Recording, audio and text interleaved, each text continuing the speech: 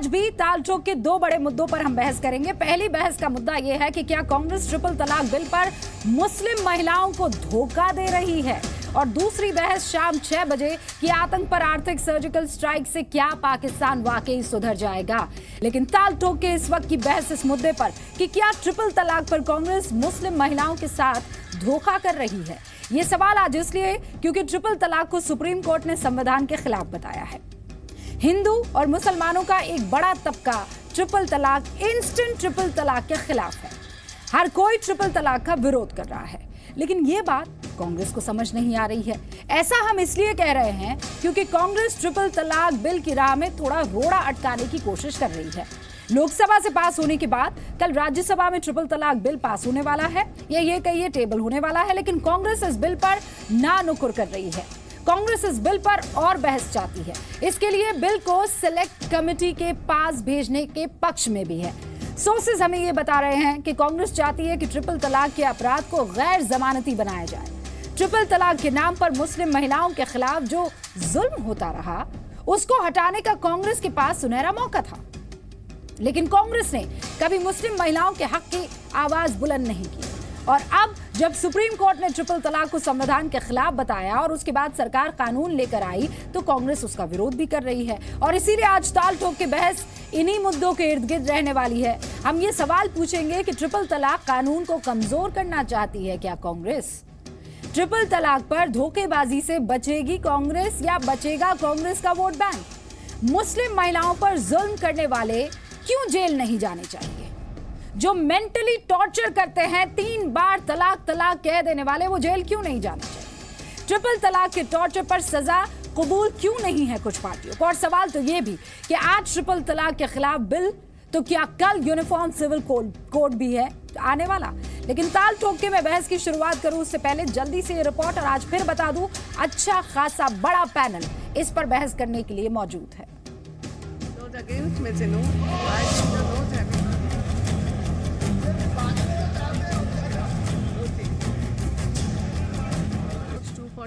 Amendment numbers 8 and 9 are negative. The motion is adopted and the bill is passed. Let the lobbies be clear. We can go.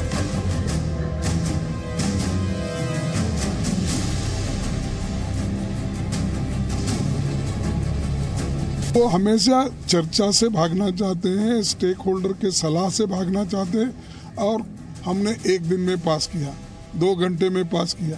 और हर class के ऊपर घंटों से, दिनों से चर्चा होती है। लेकिन यहाँ पर चर्चा से ज़्यादा बिल पास करने में सरकार लगी हुई है और इससे डेमोक्रेसी को बहुत बड़ा नुकसान है। नारी स्वाभिमान की बात है। नारी सम्मान की बात है और इसको किसी धर्म या राजनीति से जोड़ के नहीं देखना चाहिए।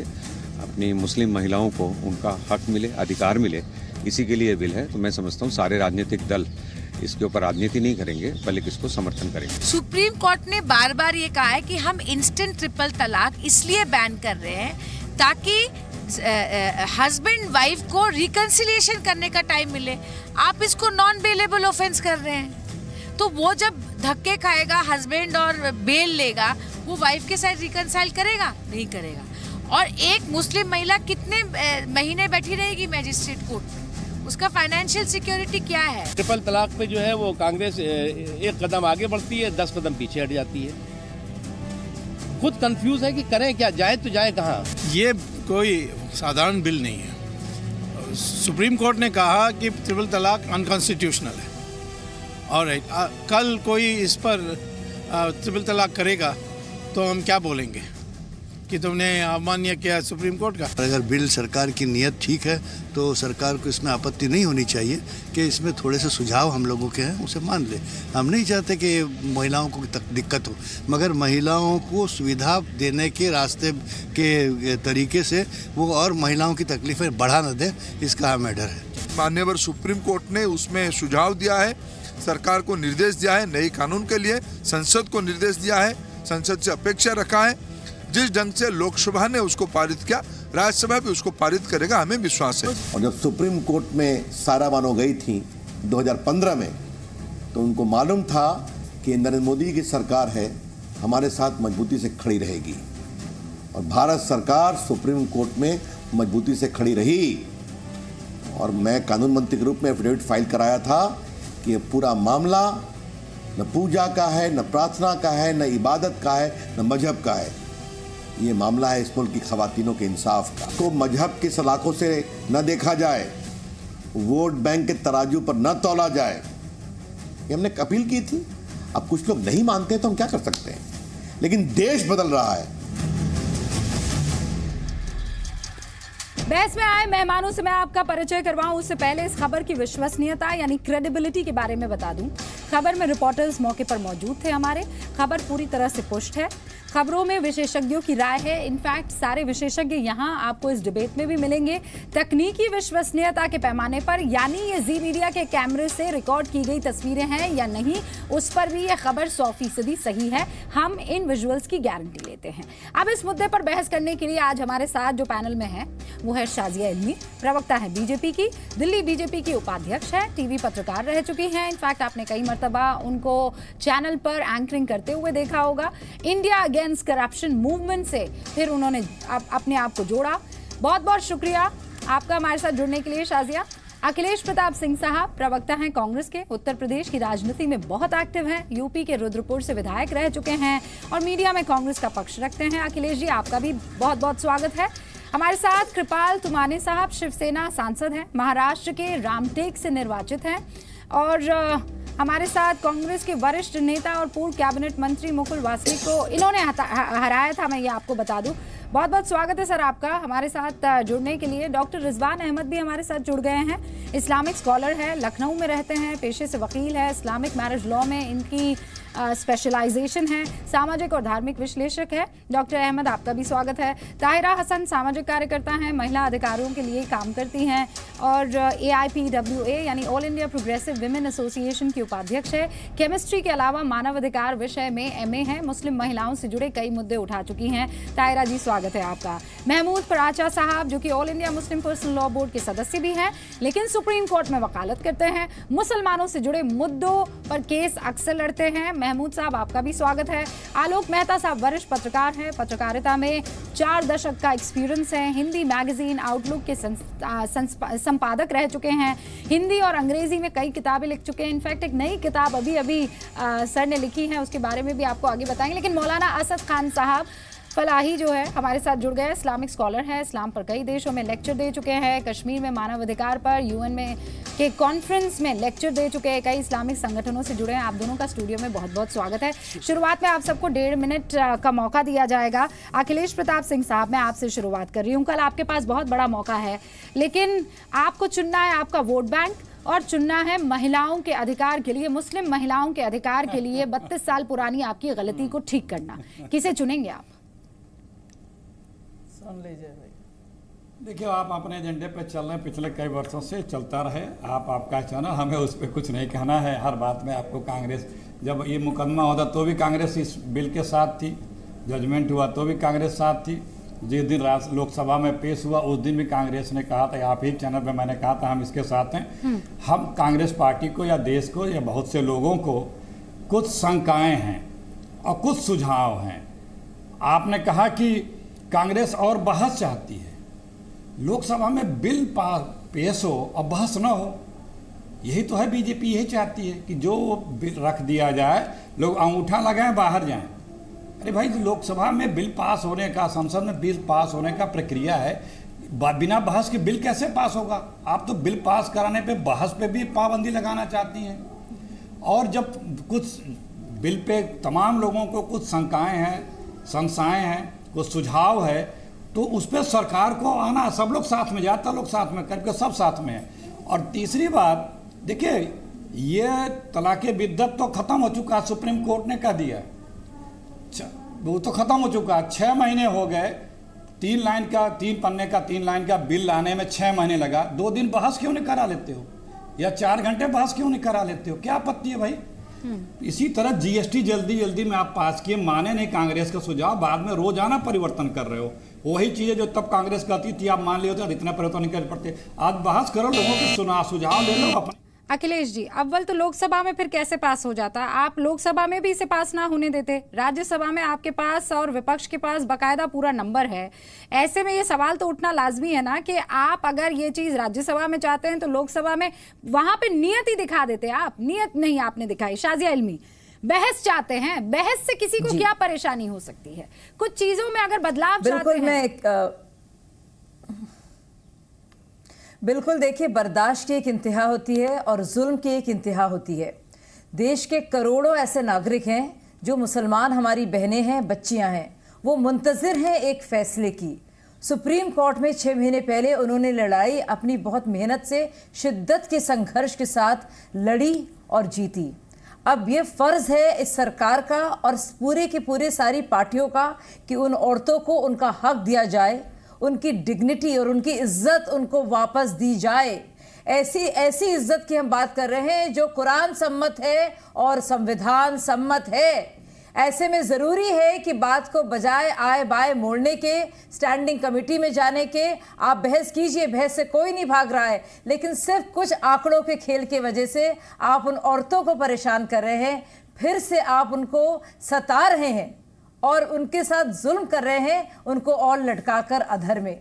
क्योंकि इसका मतलब यही है, अगर आप सब मानते हैं कि ये गलत है, आप डिस्कस कीजिए क्वांटम ऑफ़ पनिशमेंट कौन रोकता है? तीन साल नहीं, दो साल कीजिए। लेकिन स्टैंडिंग कमेटी में देने का मतलब यह है कि शीतकाल में ये बिल पास ना हो। यानी कि हमारी बहनें और जो सिर्फ़ मुसलमान बहनें नहीं है भाई साहब, सुन लीजिए आप, ये देश के नागरिक हैं।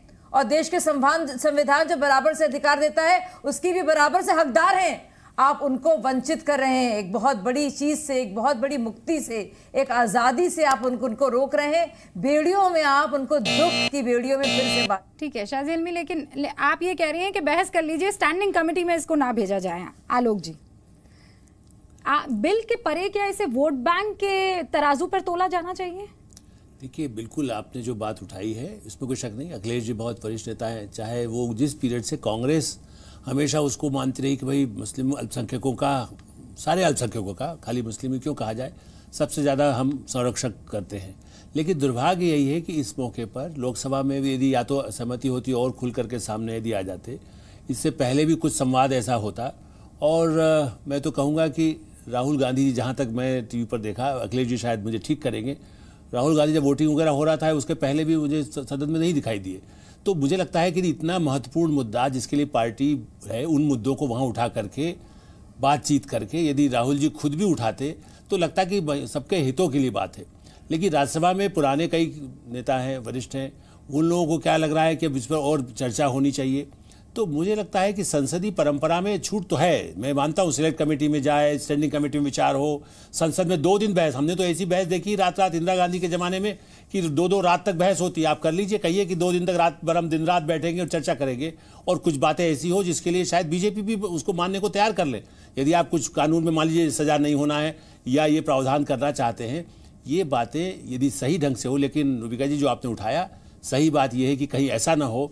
बीजेपी ने अभी भी गुजरात में कुछ महिलाओं का वोट बड़ी संख्या में यदि मिला है मुस्लिम महिलाओं का तो यदि व्यापक समर्थन मिलता है तो एक वोट बैंक का एक हिस्सा वो कांग्रेस के नहीं आए इसलिए जो ने, नेता है वो ये कर मतलब रहे मतलब ये ये जो है बीजेपी इसको लग ऐसा रहा है बीजेपी ने सेंधमारी की है कांग्रेस के वोट बैंक में और कांग्रेस अब अड़चन किसी भी कीमत पर लाने की कोशिश करेगी कि साहब ऐसा आप कैसे कर सकते हैं?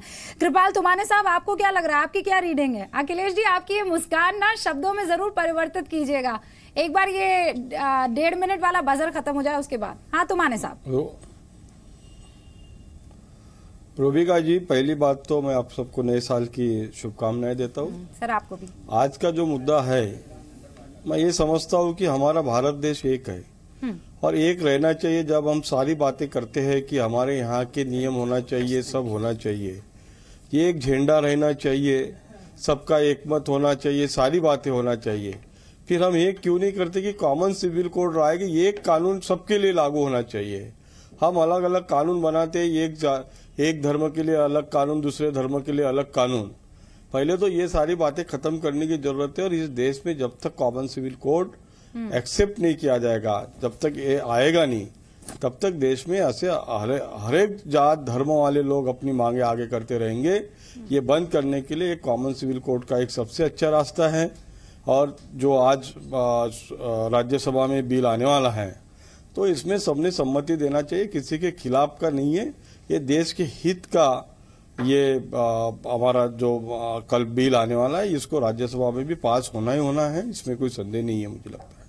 हम्म, ठीक है सर 20 सेकंड और बचते हैं लेकिन आपने इस बहस को थोड़ा और आगे बढ़ा दिया। आप जो हैं कह रहे हैं कि एक यूनिफॉर्म सिविल कोड की ही शुरुआत क्यों ना हो जाए। ठीक है मैं आगे आपसे इस पर बात करूँगी लेकिन पराचा साहब अब मामला बहुत आगे जा चुका है। मामला इसलिए आगे जा चुका है कि ये इस्लाम में वो चाहे मुस्लिम पर्सनल लॉ बोर्ड ही क्यों ना हो, चाहे वो कुरान ही क्यों ना हो, ये बात साफ़ थी कि ये इंस्टेंट ट्रिपल तलाक है ही नहीं। इसका ज़िक्र ही नहीं है, इसकी मान्यता ही नहीं है। लेकिन हम ये ग्रास रूट लेवल पर ऑब्ज़र्व या एब्जॉर्ब करवाने में नाकाम रहे हैं। और सबसे ज़्यादा मौलवी, सबसे ज़्यादा मुस्लिम पर्सनल लॉ बोर्ड। अब बात आगे बढ़ गई है। नाउ यू टेल मी अब किसी को क्या प्रॉब्लम हो सकती है? गलत काम कर रहे हो, जेल में जाओगे? देखिए, इस्लामिक शरिया के हिसाब से जो कंसिस्टेंट स्टैंड रहा है, समस्त उलेमाओं का और सबका कोई प्रॉब्लम इसमें नहीं होनी चाहिए। मुझे हैरानी है कि क्यों हो रही है। ये कहने के बाद ये कहना भी ज़रूरी है, अब जबकि बिल लोकसभा से भी पास हो गया है और राज्यसभा में इसको थोड़ी तकलीफ़ आ रही है तो हम सरकार से ये निवेदन करना चाहते हैं कि मैंने एक अमेंडमेंट इसमें तीन, चार अमेंडमेंट करके मैंने सभी पॉलिटिकल पार्टीज़ को भी भेजा है और बीजेपी को भी भेजा है, सबको भेजा है और सारे पर्सनल लॉ बोर्ड वाले मेंबर्स को भी भेजा है। मैं ये चाहता हूँ कि ये बिल एक जो हिस्टोरिक अपॉर्चुनिटी आ रही है महिलाओं की सशक्तिकरण की तो इसको इफ़ेक्टिव बनाने के लिए मेरी कुछ सजेशंस हैं, जिसमें ये है कि एक तो इसकी सज़ा कुछ ज़्यादा सख्त होनी चाहिए, नहीं तो ये नॉन अवेलेबल नहीं रहता है अवेलेबल हो जाता है। दूसरा जो सबसे बड़ी ज़रूरत है वो महिलाओं के आर्थिक सशक्तिकरण की है, वो बिल, इस बिल में उसकी कोई प्रावधान मज़बूत नहीं है। तो मैंने ये सजेशन दिया है कि 50 परसेंट जो भी मर्द की इनकम होगी, अगर कोई ट्रिपल तलाक प्रोनाउंस करता है तो वो सात दिन के अंदर अंदर उसको मजिस्ट्रेट को ऑर्डर करना होगा। कंप्लेंट के बाद अगर एक महिला कंप्लेंट करती है कि वो उसको सारी इनकम ट्रांसफ़र हो जाए। जहाँ तक इसका ये एक आर्ग्यूमेंट दिया जा रहा है, जो कि मुझे बहुत ही खोखला आर्ग्यूमेंट लग रहा है कि अगर वो मर्द जेल में चला जाएगा तो जो उसकी मेंटेनेंस है वो कैसे देगा? आज भी महिलाओं को बगैर जेल जाए पुरुष तलाक देके या दूसरे तरीके से बाहर घर से निकाल देते हैं तो उनका भी तो कोई मेंटेनेंस देने का प्रावधान नहीं है। तो इसमें ये सब आर्गुमेंट देने की कोई आवश्यकता नहीं है बल्कि इसको और मज़बूत किया जाना चाहिए और कांग्रेस पार्टी और जितनी भी लेफ़्ट लिबरल फोर्स और मज़बूत करना चाहिए। डॉक्टर रिजवान अहमद और मज़बूत किया जाना चाहिए। तीन नहीं सात साल। नहीं। दस साल कर दीजिए। देखिए इम्प्रेस करने के लिए और फेमिनिस्ट बनने के लिए आप मेरी वॉच नहीं चल रही है। मैं कह दूँ, नहीं साहब, दस साल भी नहीं, चौदह साल करना चाहिए। मैं धरातल से जुड़ा वकील हूँ तो I- मुझे फेमिनिस्ट बनने का शौक नहीं है आई आई स्पीक प्रैक्टिकल देखिए, मेरी सुबह शुरू से एक मुझे शक था कि गवर्नमेंट कहीं ऐसा ना करे कि ट्रिपल तलाक की वैलिडिटी मेंटेन करे लेकिन उसको इलीगल कर दे। यानी अगर ट्रिपल तलाक हुई तो वो तलाक मानी गई भले हस्बैंड को जेल भेज दिया जाए। मेरी एक बहुत बड़ी समस्या का समाधान उस दिन हो गया था रूबिका जिस दिन ट्रिपल तलाक को इस बिल में वॉइड माना गया। और मैं बड़ा खुश हूँ कि इस वॉइड वर्ड पे ऑपोजिशन भी कुछ ऑपोजिशन नहीं कर रहा है। तो जब हस्बैंड अपनी वाइफ को ट्रिपल तलाक देगा वो तलाक जुडिशियल तलाक या इंडिया की भाषा में तलाक नहीं होगी। मैं नंबर वन इससे बहुत खुश हूँ। भाजपा ने ये गवर्नमेंट ने बहुत अच्छा कदम उठाया है। मैं आज ये बोलता हूँ कि अगर बात करने दीजिए साहब। आज मैं ये बोलता हूँ कि अगर Congress as a opposition party इसमें कोई अमेंडमेंट लाना चाहती है, जो रीजनेबल हैं तो दोनों पार्टियों को इसमें ईगो क्लैश नहीं करना चाहिए और कोई रास्ता निकाल के इस बिल को पास कर देना चाहिए सिलेक्ट कमेटी में नहीं भेजना चाहिए। वॉइड करने के बाद गवर्नमेंट ने अपना काम कर दिया है भले कानून थोड़ा सा डाइल्यूट हो जाए लेकिन ये बिल नहीं रुकना चाहिए। बिल नहीं रुकना चाहिए तस्लीमा। ताहिरा जी सॉरी ना। ताहिरा हसन। जी नहीं मैं मैं तो बराबर कह रही हूँ कि महिलाओं की जैसे बार बार आ रहा है पॉलिटिकल पार्टी की बात हो रही है। मैं बड़ी साफ़ गोई से कहूँगी भाई शाहबानों से लेके सायरा बानों तक ये मुसलमान महिलाओं के स्ट्रगल का नतीजा है। हमने एसर्ट कराया हमने एसर्ट कराया इसलिए लोकसभा में। कोई पॉलिटिकल पार्टी की सिर्फ़ ओवैसी की पार्टी को छोड़ के कोई मुस्लिम पर्सनल लॉ बोर्ड के आइडिया के साथ खड़ा नहीं हुआ। तो ये मुस्लिम महिलाओं की अपनी जो ट्रॉमा था, जो उनकी प्रॉब्लम थी, उसके लिए वो क्योंकि ये बाबरिक इन ह्यूमन अनकॉन्स्टिट्यूशनल अनकुरानिक भी है। तो इसको अगर पर्सनल लॉ बोर्ड के हमारे अभी एक साथी बोल रहे थे महमूद साहब अब अच्छी अच्छी बात कर रहे हैं। अरे महमूद साहब यही बात आपने पहले कर ली होती तो ये आपका जो बॉल है ये बीजेपी के गोल में क्यों जाता जनाब? उस वक्त तो आपके यहाँ से मौलाना आके हम लोगों से ऐसा लड़ते थे लगता था हमारी आँखें निकाल देंगे वो हमारे बाल सारे नोच लेंगे। वो बार बार कहते थे तीन तलाक बहुत खराब है लेकिन हो जाता है। अब आप बताइए उस वक्त अगर आप लोगों ने कुछ समझदारी से काम किया होता तो ऐसा ना होता। मैं कहती हूँ मुसलमान मर्दों को भी समझना चाहिए कि ये जो कमियाँ हो रही हैं ये मुस्लिम पर्सनल लॉ बोर्ड की तरफ़ से हो रही हैं। उन्होंने एफिडेविट दिया जहाँ हमें कम अकल बताया। आप बताइए महमूद साहब का आंसर मैं लूँगी। आप जवाब दे नहीं पाएँगे महमूद भाई क्योंकि आपने जितनी गलतियाँ आप लोगों ने की आज यहाँ आपने पहुँचाया है बीजेपी को अपॉर्चुनिटी दी है। अपॉर्चुनिटी देने वाला कोई नहीं मुस्लिम पर्सनल लॉ बोर्ड है। वेरी गुड समझे आप? वेरी गुड जवाब आपसे होना चाहिए। अब मैं आगे आपसे जवाब लूँगी आगे आपसे जवाब लूँगी आपका टाइम भी पूरा हो गया है लेकिन मौलाना साहब मुस्लिम पर्सनल लॉ बोर्ड की तो गलती है ही, लेकिन अब अब आया ना ऊँट पहाड़ के नीचे, अब सबको बढ़िया लग रहा है। अरे आप जेल भेज दीजिए। अरे बिल्कुल सही है ट्रिपल तलाक इंस्टेंट तो होता ही नहीं है। तो पहले ये ज्ञान दे देते साहब कि ट्रिपल तलाक होता ही नहीं है, कुरान में है ही नहीं। बाकी सब पे तो बड़े फतवे आपकी तरफ़ से जारी होते रहते हैं। देखिए, आप डिबेट को कंफ्यूज ना करें। पहली एक बात तो सुनिए, जो आप अभी लोकसभा और राज्यसभा की बात कर रही है। एक, हमारी कंट्री जो है, दुनिया की सबसे लार्जेस्ट डेमोक्रेटिक कंट्री है। और संसद में कोई भी बिल बिना डिबेट के, बिना बहस के पास नहीं होना चाहिए। ये हमारी डेमोक्रेसी के लिए ज़रूरी है, एक हेल्दी डेमोक्रेसी के लिए ज़रूरी है। इसको इस तरह पेश करना कि दूसरी पार्टियाँ मुस्लिम महिलाओं के अधिकारों के खिलाफ हैं और उनके बिल पास नहीं कराना चाहती और स्टैंडिंग कमेटी में भेजना चाहती हैं तो उन सुझावों को पहले सुन लें। देखिए गवर्नमेंट ने यह बिल बहुत जल्दी में लेकर आई। क्यों नहीं इसने गवर्नमेंट ने किसी भी इस्लामिक स्कॉलर से बात करी कि जो इसमें आज फ्लॉज नज़र आ रहे हैं और आगे चल के अमेंडमेंट्स होंगे? आज इसको स्टैंडिंग कमेटी में भेजने की ज़रूरत पेश आ रही है। वो क्यों आ रही है? देखिए, इस बिल से लोग मुस्लिम महिलाओं को हक कम मिलेगा, बल्कि उनके अधिकारों का हनन ज़्यादा हो जाएगा, क्योंकि घर खराब होंगे ज़्यादा से ज़्यादा।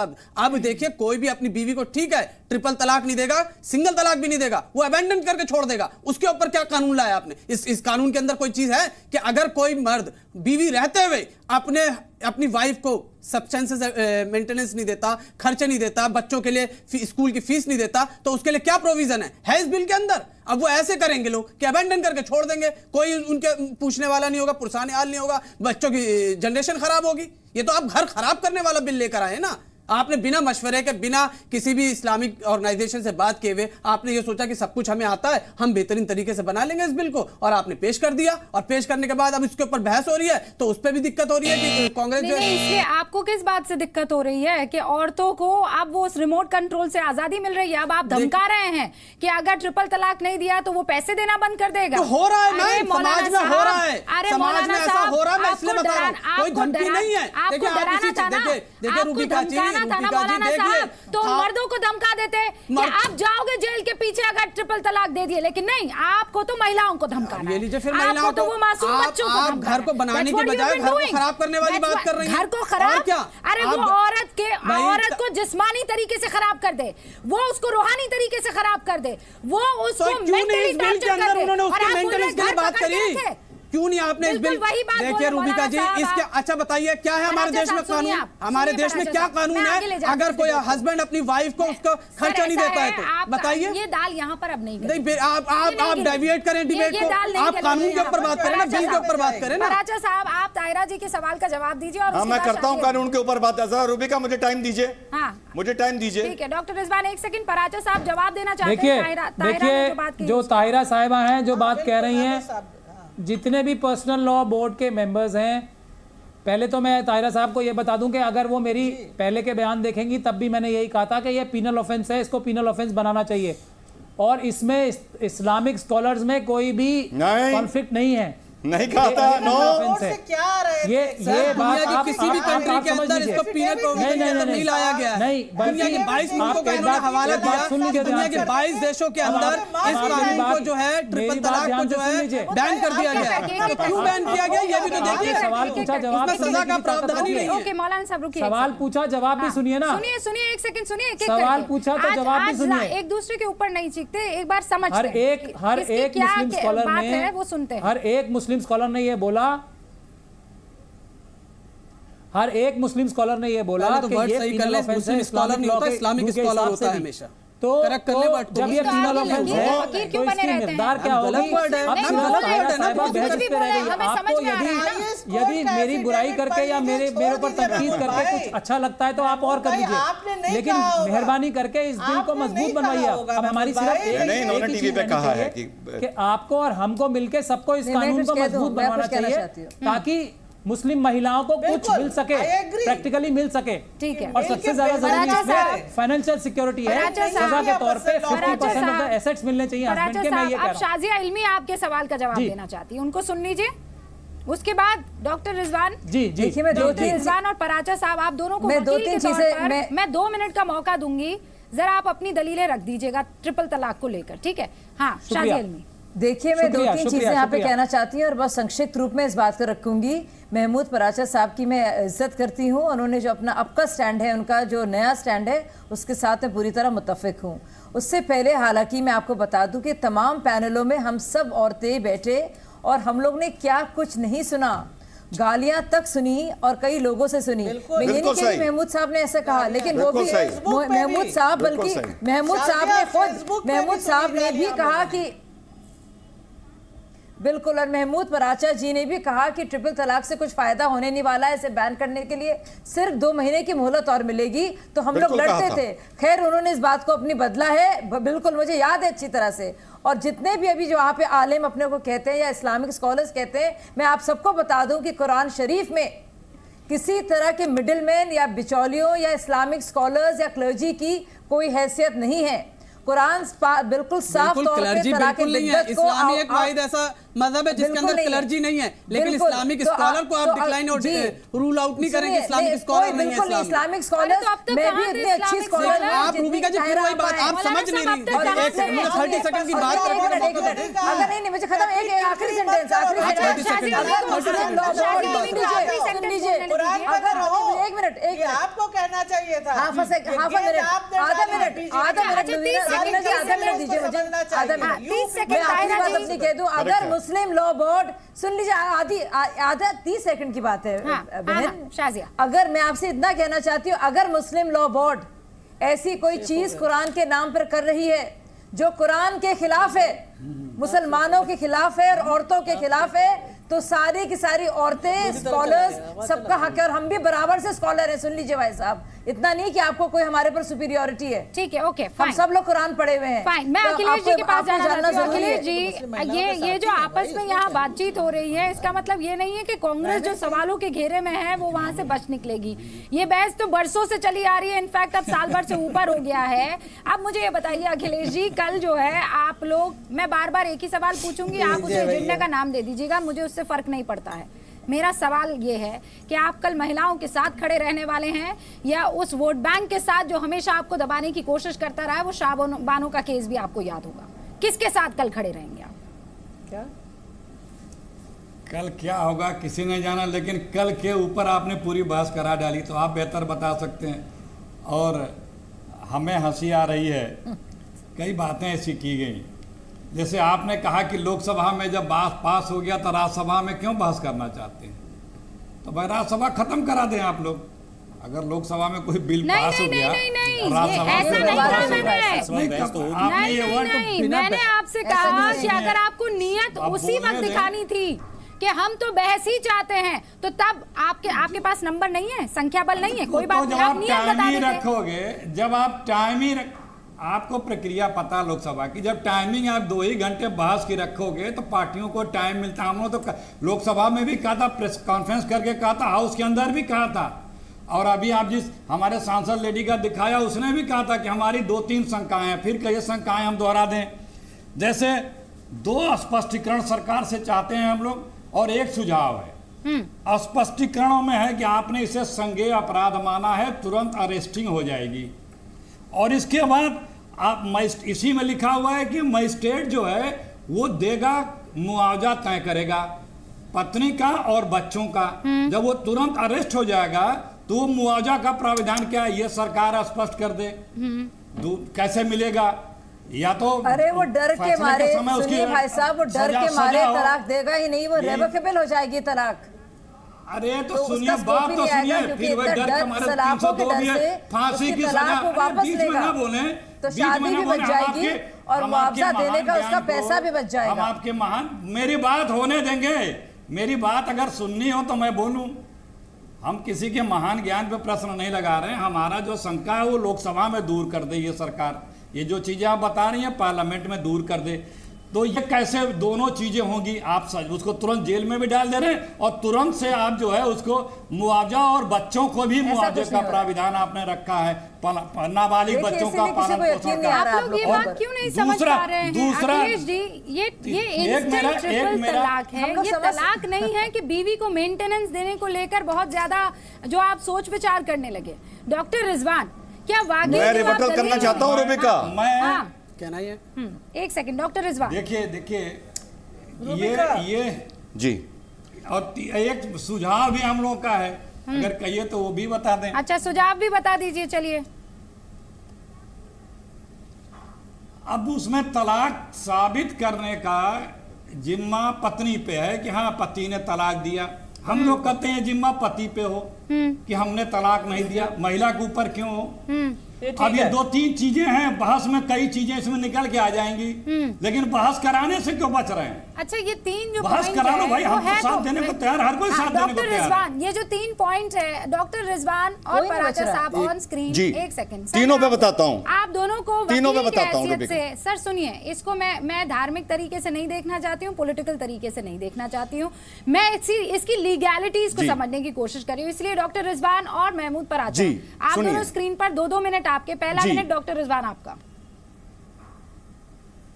जी देखिए रूबिका पहली चीज़ जो अखिलेश भाई साहब ने बोला कि नॉन बेलेबल अगर ये नॉन बेलेबल होगा तो पुलिस पुलिस तुरंत अरेस्ट कर लेगी। नो ऑनरेबल सुप्रीम कोर्ट के क्लियर डायरेक्शंस हैं कि हस्बैंड वाइफ के मैटर में पता नहीं है। मुझे बात करने दीजिए साहब आप ना हम मुझसे मेरे बीच में ना बोलिए। ना ना नो सर एक- एक मिनट, एक- एक मिनट आप no please please no no no. आप बीच में ना बोलिए। हाँ, डॉक्टर आप मेरे बीच में ना बोलिए साहब। I am not your I am not your political opponent I am not your political opponent आप गुमराह नो। सुप्रीम कोर्ट के डायरेक्शंस हैं कि 498 ए में या तीन बटा चार में या किसी भी धारा में जब तक वो बहुत ही संगीन ना हो गई हो, पुलिस पहले एफआईआर करेगी, फिर महिला थाने में मेडिएशन करवाएगी। जब मेडिएशन फेल होगा, उसके बाद इन्वेस्टिगेशन शुरू करेगी और उस पर चार्जशीट लगाएगी या फाइनल रिपोर्ट लगाएगी। पुलिस अरेस्ट मैं ये दो महीने से बोल रहा हूँ मैट्रिमोनियन मैटर में नहीं करती नहीं करती नहीं करती, पहली बात। दूसरी बात, जो मौलाना साहब बोल रहे थे कि अगर उसने औरत को घर से निकाल दिया तो कौन सा कानून है? मौलाना साहब डिबेट के बाद घर से नहीं निकाल दिया मैंने कहा अगर शादी होते हुए पहले सवाल तो समझिए रिजवान साहब। एक सेकंड इन वो- वो उन्होंने गलत लिया ना दो हज़ार सुनिए पहले मेरा- मेरा क्वेश्चन तो सही दो ले ले। हज़ार पाँच अरे नहीं मैंने सुन लिया आपका क्वेश्चन 2005 डोमेस्टिक वायलेंस एक्ट पढ़िएगा औरत कोर्ट जाएगी। अगर वो पत्नी होगी या पत्नी नहीं भी होगी कोर्ट डायरेक्शन देगा कि अपने शोहर के घर जाके वो रहेगी। और पुलिस उसको वहाँ पर प्रोटेक्शन देगी। ठीक है। नंबर तीन है, नंबर तीन बात जो पराचा साहब। कह रहे थे। हम्म, सर एक मिनट ओवर हो रूबिका रूबिका एक सेकंड रूबिका प्लीज़ एक सेकंड रूबिका एक सेकंड रूबिका हाँ, रूबिका क्या क्या क्या अब आपको दिक्कत हो गई? किया इन्होंने मैं बता रहा हूँ। एक मैं बता रहा हूँ मैं बता रहा हूँ एक सेकंड इन्होंने बिल पढ़ा ही नहीं है। और ये गुमराह प्लीज़ करते जा रहे हैं। प्लीज़ थर्टी सेकंड में इनका जवाब दूँ। सुनिए जो जो अध्याय थ्री है, जो इसका पार्ट थ्री है, उसका आर्टिकल नंबर सेवन धारा सेवन जो इसके अंदर है, अपराधों का संज्ञेय और अजमानती होना, दंड प्रक्रिया संहिता 1973 में अंतर्विष्ट किसी बात के होते हुए भी, इस अधिनियम के अधीन दंडनीय कोई अपराध उक्त संहिता के अर्थांतर्गत संगे और अजमानती होगा। इनसे कह दिए जरा पढ़ के बिल आया करें। पहले ये सुप्रीम ये कोर्ट- सुप्रीम कोर्ट के रूलिंग के अगेंस्ट है साहब, सुप्रीम कोर्ट सुनिए, सुनिए, नहीं पता। हैं आपकी शादी जो है चाहिए। जब तक कहीं जाके आप उसके अंदर आएँगे तब नहीं फिर आपका कानून आपको कवर करेगा। पराचा साहब पराचा साहब। उसी- आपने सुना डॉक्टर रिजवान ने क्या कहा था? और और उसके बाद अखिलेश प्रताप सिंह साहब कौन सा क्लॉज नंबर थ्री बता रहे हैं जवाब देता हूँ। पहले मैं शाजिया अलमी साहब को साहिबा को ये याद दिलाना चाहता हूँ की मैं आज भी वही कह रहा हूँ। कि अगर ट्रिपल तलाक इन वन गो यानी कि तलाक बिदत को सिर्फ़ गैर कानूनी घोषित किया जाता जैसे सुप्रीम कोर्ट की आप ने किया करा करिए, तो उसका कोई फ़ायदा सिर्फ़ नहीं है ना। दिन या 90 दिन मैं से ज़्यादा नहीं तुम मिलने कहाँ वाला के हो? मैं बहुत टेढ़ा आदमी कह रहा हूँ। था कि इसको दंडनीय अपराध बनाना चाहिए। अब जब सरकार इसको दंडनीय अपराध बना रही है जो बात मैं शुरू से कह रहा हूँ तो मैं उसका स्वागत ही कर रहा हूँ इसीलिए। तो मैं अपनी बात से पलट नहीं रहा हूँ। पहली बात ये। दूसरी बात यह कि ज़्यादातर यहाँ पे लोग जो मौजूद हैं अ, मेरे मित्र जो वकील साहब हैं उनको छोड़ के ये नहीं जानते कि महिलाओं के साथ कोर्ट में जाने के बाद कोर्ट में एक अलग प्रकार का अन्याय होता है। तो इस एक्ट की जो मैं सिर्फ़ अमेंडमेंट के लिए गुजारिश कर रहा हूँ यही कर रहा हूँ कि जो फाइनेंशियल सिक्योरिटी है कम से कम औरत की, वो एक हफ़्ते के अंदर अंदर मजिस्ट्रेट को उस पर ऑर्डर करना ही चाहिए कि 50 परसेंट या उससे ज़्यादा मजिस्ट्रेट के संज्ञान के हिसाब से जो सोचे, वो तुरंत देना चाहिए। क्योंकि इसके साथ साथ अब हम उनको बच्चों की भी जो जो कस्टडी है, वो महिला को दे रहे हैं तो उसके लिए भी उसको पैसे खर्च करने होंगे। तो कम से कम 50 परसेंट तो टोटल महीनों इनकम का और एसेट्स का मिलना चाहिए। ये एक बुनियादी बात है और सात दिन के तो अंदर मिलना चाहिए। पहली बात ये तो इस, जब तक बिल में प्रावधान नहीं होगा तो महिला तो को जैसे कि अभी डॉक्टर रिजवान साहब ने बताया हो, महिलाएँ को आप ऐसे निकाल नहीं सकते अपनी बीवी को दुखित होती बीवी को पूरा हक नहीं है मिलता। शौहर तो के घर में रहने का। bound चीज़ें रखनी बहुत ज़रूरी है अदरवाइज़ इसका कोई फ़ायदा मुस्लिम महिलाओं को नहीं होगा। लेकिन ये लड़ाई हम आप बाद में भी हैं। कंफ्यूज करके इस बिल की को बात है, करने की 41A कोशिश तो नहीं कर रहे हैं। जो कि ये बिल कहता में है कि क्या उसके बाद कभी बदलाव हो। ही नहीं नहीं तो, सकते हैं। रुबीना जी आप समझ रही हैं इस बात को? रुबीना जी आप सही कह रही हैं इस बात को इतना उलझा दो। सुनिए सुनिए। तो आइडिया क्या है यहाँ पे? हाँ,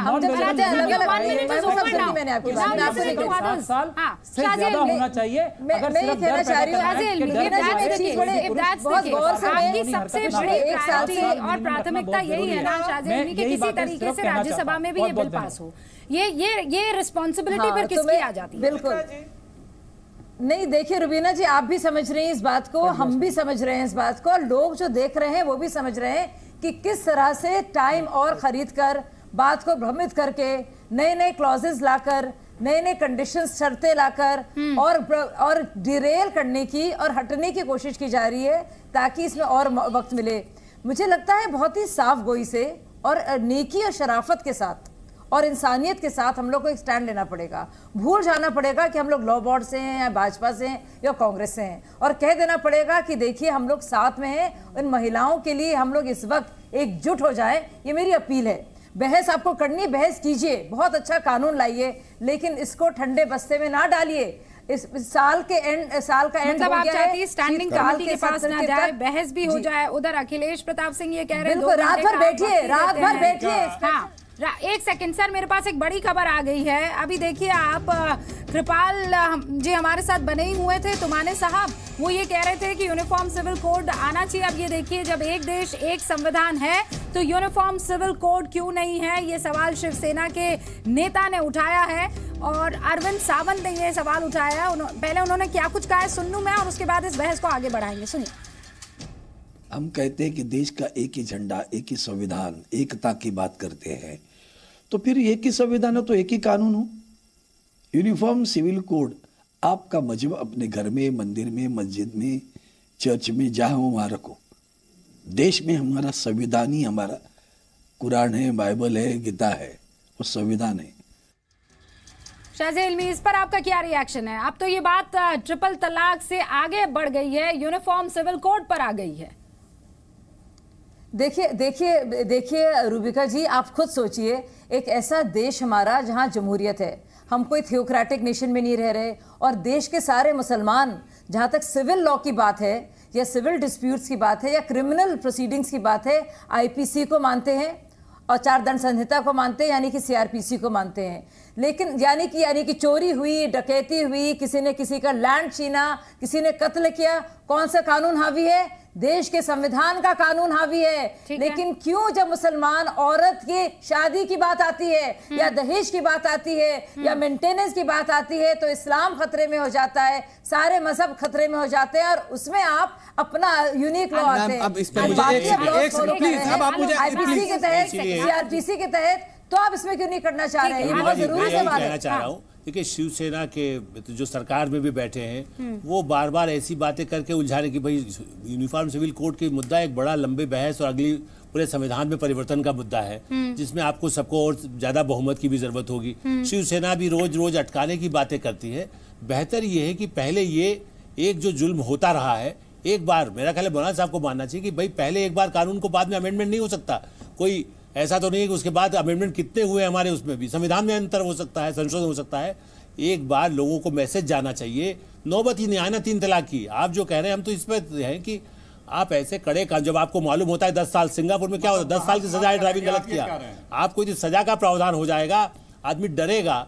वो तलाक की नौबत क्यों आती है? या उसके तो पहले और यदि अलग तो रहना है हाँ। तो फिर मेंटेनेंस का हाँ। पहले से इंतज़ाम हाँ। करेगा। आलोक जी ने दो लोगों को दो लोगों से बात आप और उसके बाद मौलाना साहब। पहला सवाल तुम्हारे साहब से था इसीलिए मौलाना साहब मुझे उनसे।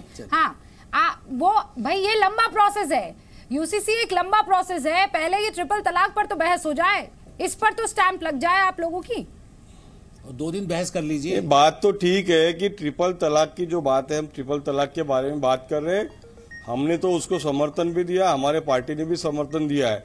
लेकिन हमारे नेता स्वर्गीय बाला साहेब ठाकरे जी पहले दिन से कहते आए कि इस देश में एक संविधान रहना चाहिए एक कानून रहना चाहिए एक कानून के साथ ही। तुम अमेरिका जाओगे तो वहाँ ऐसा तो नहीं कि क्रिश्चियनों के लिए अलग है या मुस्लिमों के लिए अलग है या बुद्धिस्ट के लिए अलग है। थाईलैंड में जाओगे तो वहाँ बुद्धिस्ट के लिए और मुस्लिमों के लिए अलग है। ऐसा नहीं होता है। दुनिया में सब जगह एक एक कानून होता है। मुसलमानों के लिए अलग कानून बनाते हो हिंदुओं के लिए अलग कानून बनाते हो। तो ये जो जैसा हमारे अभी मौलाना जी बोल रहे थे इन लोगों ने आज तक ये राजनीति करते आए कि झगड़े लगाने का आपस में झगड़े करा देने का दंगे करा देने का कुछ तो भी बोल देने का जैसा भी वो धमकी दे रहे थे। कि ऐसा नहीं होगा वैसा हो जाएगा। मैं उस तो कानून तो के बता रहा था आपको आप उसको धमकी में ले जाए। जब तक मतलब ये होता है कि सिविल कोड आता नहीं। करना है तो संसद में इसको तो हमारा समर्थन है। आज राज्यसभा में हम कल इसी के ऊपर देने वाले हैं। इसी में बोलने वाले हमारा समर्थन है लोकसभा में हमारा समर्थन है। लेकिन इसके आगे हमने जाना चाहिए। हाँ हम जानते हैं कि इसके लिए टू थर्ड मेजोरिटी लगेंगी लेकिन हम इसके लिए सभी लोग समर्थन करेंगे। इसलिए ये कॉमन सिविल कोड की बात आना चाहिए। थ्री सेवेंटी खत्म हो जाएगी संविधान के एक संविधान के अंतर्गत चलना चाहिए। सभी लोगों को इसको मानने की बहुत ज़रूरत है। अब ये डिबेट ट्रिपल तलाक से निकल के यूसीसी की तरफ़ आ गई है यूनिफॉर्म सिविल कोड की तरफ़। लेकिन आ गई है अब अभी बोल दिया ना लेकिन किसी को यह नहीं पता कि लॉ कमीशन ने यूसीसी के ऊपर क्या स्टेटमेंट होना ही चाहिए तो चेयरमैन है सुनिए आप मेरी बात सुनिए। जस्टिस बलबीर सिंह जो जो चेयरमैन है लॉ कमीशन के उन्होंने ये स्टेटमेंट दिया है कि यहाँ पर यूनिफॉर्म सिविल कोड इंप्लीमेंट नहीं हो सकता क्योंकि India is a country of diversity यहाँ इतने लोग मानने वाले आप मुस्लिम को तो छोड़ दीजिए। मैं तो तैयार हूँ मैं कह रहा हूँ लाओ सिविल यूनिफॉर्म सिविल कोर्ट का ड्राफ्ट आप। पहले लेके तो आओ आप। आपके पास ड्राफ्ट ही नहीं है और आप खाली हवा में स्पेकुलेशन में बात कर रहे हैं कि नहीं यूनिफॉर्म सिविल कोड आना चाहिए। आप अमेरिका की बात कर रहे हैं। अमेरिका के अंदर एक ही मज़हब के मानने वाले लोग हैं। इसलिए वहाँ इतनी दिक्कत नहीं है। ना वहाँ किसी तरह की कोई प्रॉब्लम आने वाली है। लेकिन आप इंडिया में यहाँ पे तो दस कदम पे आप चलेंगे तो भाषा बदल जाती है। सौ किलोमीटर पर लैंग्वेज तो और कल्चर बदल जाता है। आप कैसे भी बदल जाए है।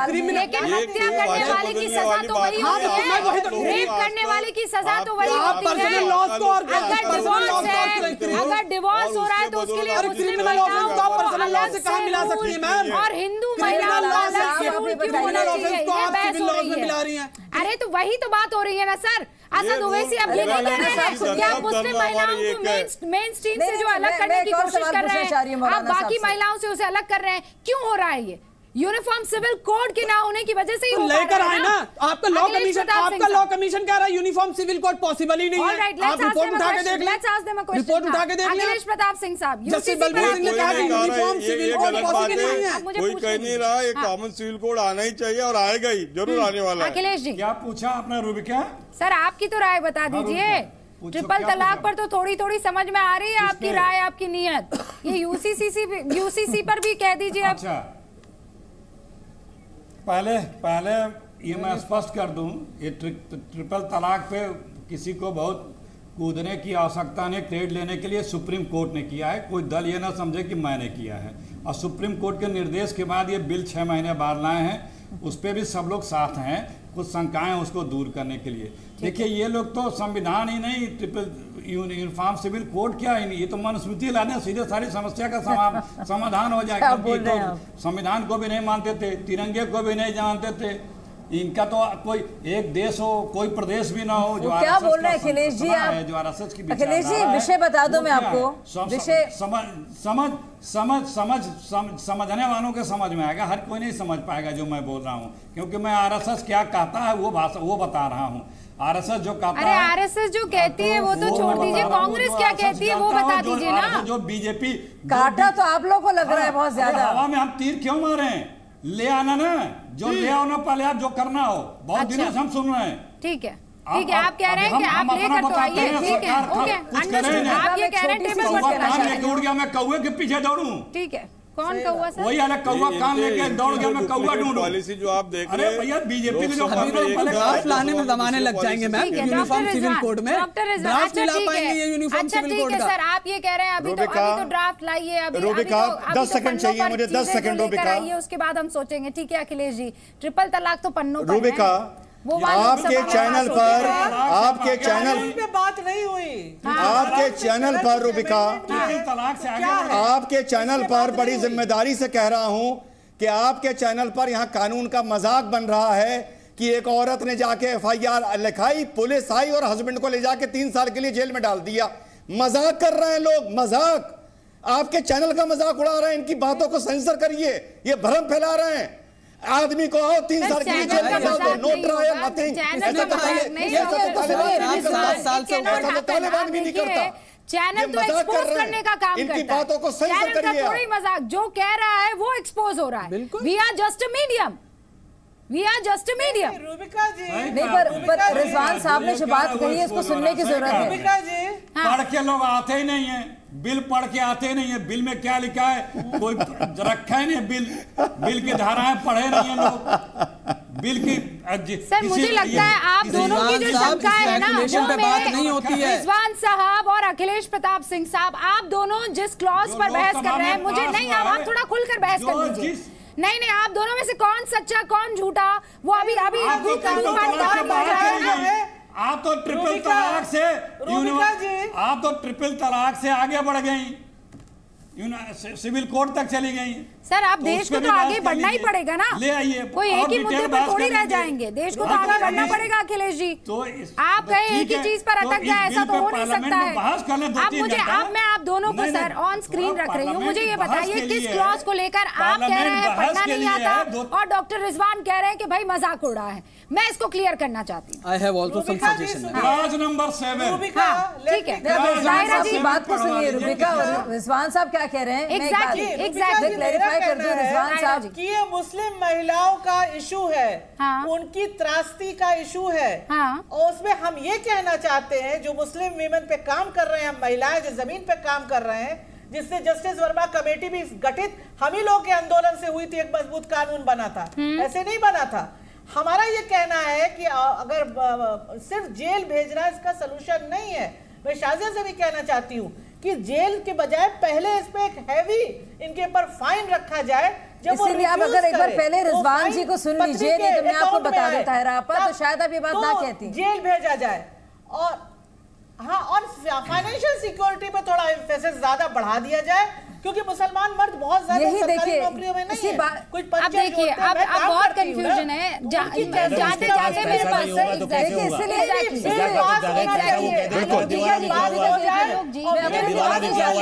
जा- उनकी जा- महिला को जी मैं अपने लिए वक्त चाहती हूँ एक बहुत ज़रूरी चीज़ ठीक है तायरा जी आपकी बात समझ में आ गई। तायरा जी आपकी बात समझ में आ गई। ये जो क्लॉज है और जिसको लेकर जिसको लेकर कंफ्यूजन है जरा उसे समझ ले। ये बहुत इम्पोर्टेंट हो जाता है। कितना पैसा देना है हाँ, वो बहुत इंपॉर्टेंट डॉक्टर रिजवान समझा रहे थे एक बार फिर से सुन लेते हैं डॉक्टर रिजवान डॉक्टर रिजवान और अखिलेश प्रताप सिंह साहब आप रूबिका हाँ बताए रूबिका नहीं सिर्फ़ doctor on offences related with marriage on offences related with marriage जिसमें 313 आईपीसी भी आती है ज़बरदस्ती किसी औरत का अबॉर्शन करवाना जिसमें 10 साल की सजा है उसमें भी पुलिस अरेस्ट नहीं करती है। पराचा साहब से आप पूछ लीजिए if you want to concern जब तक आपका मेडिएशन फेल नहीं हो जाता मैट्रिमोनियल डिस्प्यूट्स में पुलिस अरेस्ट नहीं करती है भले ऑफेंस बेलेबल हो या नॉन बेलेबल हो ये सुप्रीम कोर्ट के डायरेक्शंस हैं हाई कोर्ट के डायरेक्शंस हैं। The law is set the law is clear there is no argument over it बिल्कुल तो समझना ज़रूरी है। रूबिका hmm. रूबिका हाँ, रूबिका। देखिए रूबिका जी बहुत बड़ी चीज़ बहुत बड़ी चीज़ उन्होंने की सर की बहुत बड़ा कंफ्यूजन है इधर हो गया। देखिए यही यही। एक मिनट एक मिनट। मेरे भी कुछ सजेशन है बार बार जो कहा जा रहा है कि अरेस्ट हो जाएगा अरेस्ट हो जाएगा अरेस्ट हो जाएगा। ये गलत है। ये भ्रमित करने के लिए बात नहीं अखिलेश जी एक मिनट बोलने दीजिए। नहीं अखिलेश जी आप आप बार बार वही बात रिपीट करते हैं। जितना समझ में आया उतना मैं बता रहा हूँ। डोमेस्टिक वायलेंस का मामला हो जितने भी फैमिली कोर्ट्स में जो मैटर होते हैं डोमेस्टिक वायलेंस का भी मैटर होता है बिल पढ़ा है या फिर औरत आपने बिल पढ़ा है निकालने का मैटर होता आपने बिल पढ़ा है। फॉरन अरेस्ट नहीं होती आपने बिल पढ़ा है। पूरा बिल पढ़ा है बिल की कॉपी आपने बिल पढ़ा है। सामने रखी है। एकदम नहीं पढ़ा है। सबने अच्छा, पढ़ा है आपने नहीं पढ़ा है। आपने नहीं पढ़ा है सबने पढ़ा आप सुनिए बात। वकील प्राचा जी? नहीं नहीं आप, आप नहीं नहीं आप, जी बता दो भाई। कर रहे हैं आप झूठ बोल रहे हैं। आप सबके सामने झूठ अच्छा अखिलेश जी आपके लिए एक खबर है। आपके लिए खबर है राज्यसभा में चार घंटे इस बिल को लेकर बहस होने वाली है। अब तो रात भर इसे पढ़ा जा सकता है बार बार पढ़ा जा सकता है। जो भी दिक्कतें हैं जो भी कंफ्यूजन है उसको अच्छा, उसको आप क्लियर कर दीजिएगा। चार घंटे बहस होगी मेरे पास इस वक्त की बड़ी खबर है। राज्यसभा में आप चार घंटे पॉइंट्स आपके वेरी नाइस पास हो जाए। उसके बाद डिसाइड किया जाएगा कि सेलेक्ट कमेटी में भेजा जाए इसको या ना भेजा जाए। आलोक जी मतलब गतिरोध जो है वो खत्म करने की कोशिश है ना? देखिए निश्चित तो बहस होगी चार घंटे के बाद यदि सभापति चाहे तो उसको और समय बढ़ा सकते जैसा मैंने कहा पहले भी जब चार घंटे नहीं आप हो सकता है छह घंटे कर लीजिए। चर्चा कर लीजिए थोड़ा सा अखिलेश जी बहुत पुराने नेता है आपस में संवाद कर सकते गुलाम नबी आज़ाद और कानून मंत्री साथ में बैठ सुधार कर सकते कुछ चीज़ों का प्रावधान कर सकते हैं। निराकरण नहीं हुआ। हम्म। निराकरण तो अभी अरे अखिलेश जी आपको तो हर चीज़ में आपको तो हर चीज़ में शक और शुबाई होता है। वाई दिस टाइम अभी आप कह रहे थे दो घंटे का रास्ता बताओ पास ना करते तो लोकसभा में क्या करते? अब हम कह रहे हैं राज्यसभा में चार घंटे बहस होगी तो आप कह रहे हैं की निराकरण करना चाहिए। अरे भाई हम आप क्यों बहस कर रहे हैं? पॉसिबिलिटीज पे तो बहस कर रहे हैं ना। जिसको जिसको सरकार को नहीं, नहीं, आप बहस करने के लिए बहस कर रहे हैं आप भ्रमित कर रहे हैं। यहाँ पे किसी की अरेस्ट की कोई हाँ, तो बात डॉक्टर रिजवान ने आपकी एक शंका तो दूर कर ही दी ना सर। कि फ़ौरन गिरफ्तारी नहीं होगी। अरे वो रिजवान वो ये इनको गलत गलत अच्छा पराचा साहब का यकीन करेंगे? मैं पराचा साहब से पूछ लेती हूँ। हाँ पराचा साहब क्लॉज सेवन के बारे में बता दीजिए। अच्छा अब पराचा साहब का यकीन करेंगे ना। ठीक है उनका उनका सेवन हाँ। हाँ हाँ उन्हीं देखिए हो सकता है पूछ लीजिए एक सुप्रीम कोर्ट की जजमेंट है अरनेश कुमार। अरनेश कुमार नाम की जजमेंट है जो ये कहती है कि सात साल से कम का यदि अपराध होगा तो पुलिस उसमें अरेस्ट नहीं करेगी सीधे। दूसरा सेक्शन 41 कैपिटल ए सीआरपीसी की है जो ये कहती है कि जब सात साल से कम या सात साल तक की सजा वाला कोई भी ऑफेंस होगा तो पुलिस सीधे गिरफ़्तार नहीं करेगी बल्कि उसके डिटेल में रीजन लिख के तब देगी। तो अगर सात साल से कम का ऑफेंस होता है तो लिटरली वो ऑलमोस्ट बेलेबल ही ऑफेंस हो जाता है। तो ये तो पहली बात है। मगर मुझे ये समझ में नहीं आ रहा कि इसको नॉन अवेलेबल बनाने में या अब तो मान लीजिए अखिलेश जी अब अब और किसका सर्टिफिकेट ला कर दे आपको? कार्य कर सकता है। मुस्लिम पर्सनल लॉ बोर्ड का चीज़ मत मानिए बहुत ही घिनौना कार्य है। अखिलेश जी तो सब समझ रहे हैं आप क्या क्या? कह रहे जाएगा किसी को रिजवान यकीन साहब नहीं। आप सिर्फ़ इसके बिल के अवेलेबल और नॉन अवेलेबल के ऊपर डिबेट कर रहे हैं इसके दूसरे और फ्लॉज भी हैं लूप होल्स हैं? उस पर भी बात कर रहे हैं आप एक बात बताइए है? हाँ, बता रहा हूँ। इसमें इन्होंने एक सेकंड महिला की, ये सबसे सुनिए बुरी बात? ठीक है इन्होंने साहब आपने आपने आपने जो बात कंफ्यूजन वाली थी वो क्लियर कर दी है। पहले एक बात का एक बात का सवाल का जवाब दीजिए ये कानून मुस्लिम महिलाओं के अधिकारों के लिए है ना हाँ बिल्कुल। तो इसमें जब वो ट्रिपल तलाक को बैन कर रहे हैं तो दूसरी जो दो तलाकें हैं तलाक एहसन और तलाक हसन उसको क्यों नहीं डिफाइन किया गया इस बिल के अंदर? कि तलाक देने का तरीका क्या होगा? आपने तो तरीका ही नहीं बताया और कानून के ऊपर बता रहे हैं। सारा काम जो है वो सुप्रीम कोर्ट कर ले आपका सारा काम सरकार अरे ही तो कर ले। आप कानून ला रहे हैं ना बना के। आप फतवा कानून ला जारी रहे हैं, आप करेंगे। बिल ला रहे हैं। अरे तो आप समझाइए ना।